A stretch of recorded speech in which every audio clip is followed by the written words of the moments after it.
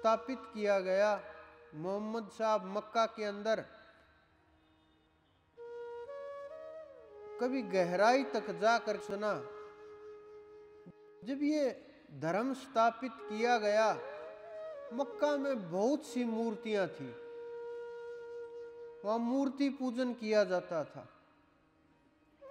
जब मोहम्मद साहब को वहाँ से बाहर निकाल दिया गया, लड़ाई करके जैसे भी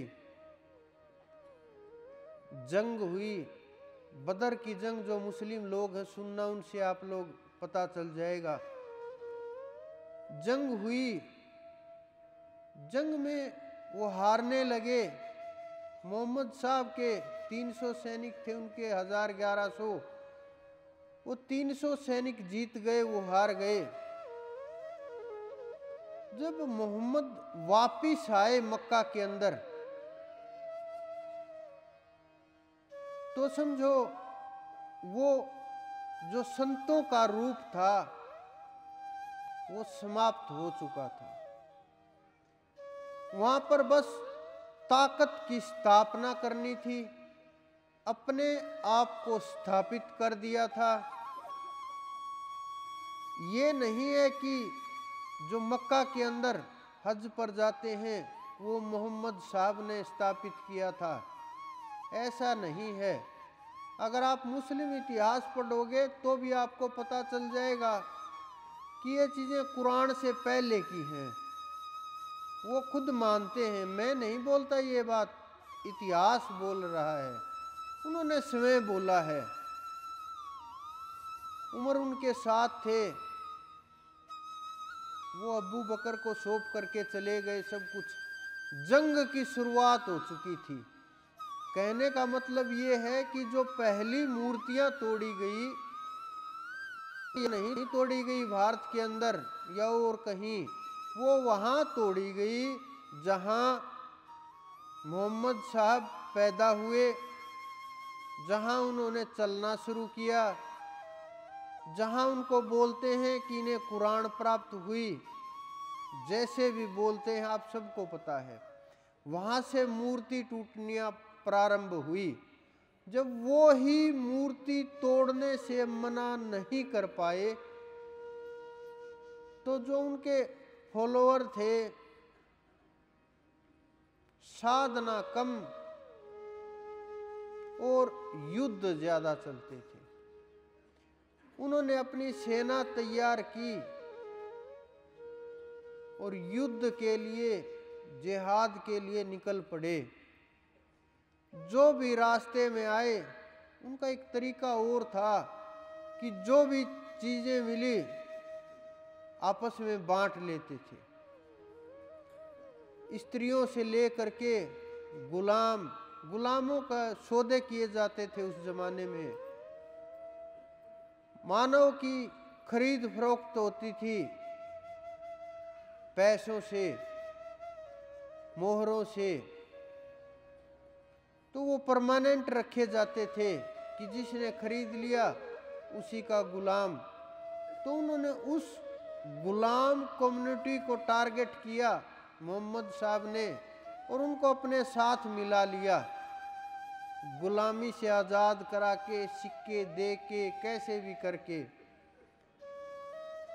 और फिर ये ताकत शुरू हुई। वो जहाँ भी जाते, लूट मार करते, गुलामों को इकट्ठा करते, जो भी वस्तुएँ प्राप्त होती सब की सब उन सैनिकों में बांट दी जाती थी। हौसला बढ़ता गया लोगों को पता चलता गया क्योंकि वहाँ कुछ होता नहीं था। इतना गहरा रेगिस्तान था, इतना गहरा घास तक नहीं उगती थी। कुछ कुछ जगह के ऊपर खजूर के पेड़ होते थे, आज भी है कुछ जगह के ऊपर, बाकी कुछ नहीं होता था। तो जहाँ भी जाते थे, धन भोजन और स्त्रियाँ लूट खसोट करते हुए जितने भी उन्हें मंदिर मिले,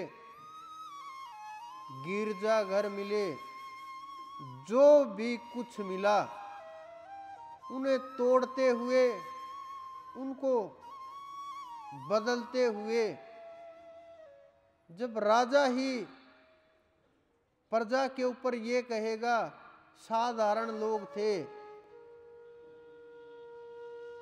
मरने से ज़्यादा अच्छा उन्हें इस्लाम को अपना लेना अच्छा लगा। तो ये समझो, इस्लाम की जो शुरुआत हुई, वो तलवार से ही हुई।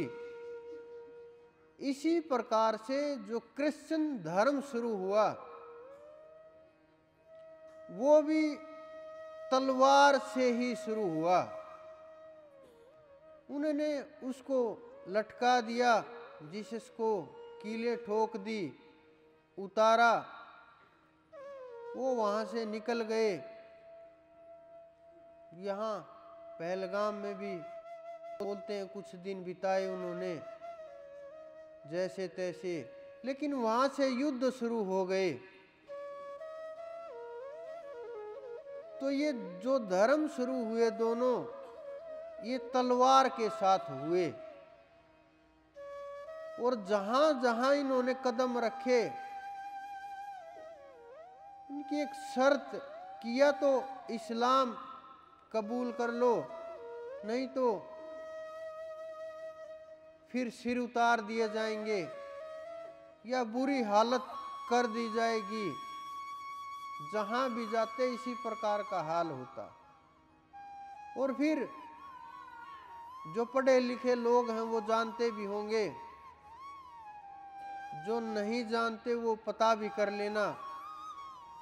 इन्होंने एक सल्तनत की शुरुआत की ओटोमन एम्पायर के नाम से। और फिर वहाँ से इन्होंने एक अपना ऐसी सल्तनत खड़ी की कि ये जहाँ भी जाते, वहीं मार धाड़ करके लूट खसोट करके, इर्तगुल गाजी ने शुरू की। उसके लड़के का नाम उस्मान, वहाँ से शुरू हुआ इनका खेल। और फिर पूरे बहुत देशों के अंदर उनका राज था। करीब सौ साल पहले भी उसको तोड़ा गया। तो जब आप इनको समझेंगे तो थोड़ा दिमाग का प्रयोग करेंगे तो आपको समझ में आने लगेंगी ये चीज़ें।